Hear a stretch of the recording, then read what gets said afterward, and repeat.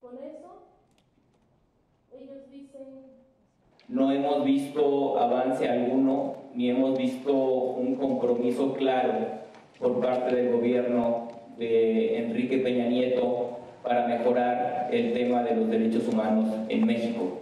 Pasaré la palabra a Claudia Medina, quien eh, es sobreviviente. Eh, sin duda el presidente Peña Nieto y también todo Son nueve peticiones concretas y acciones concretas en donde puede demostrar si su gobierno tiene la voluntad política y la capacidad para poder llevar a cabo estos, estos, estas acciones.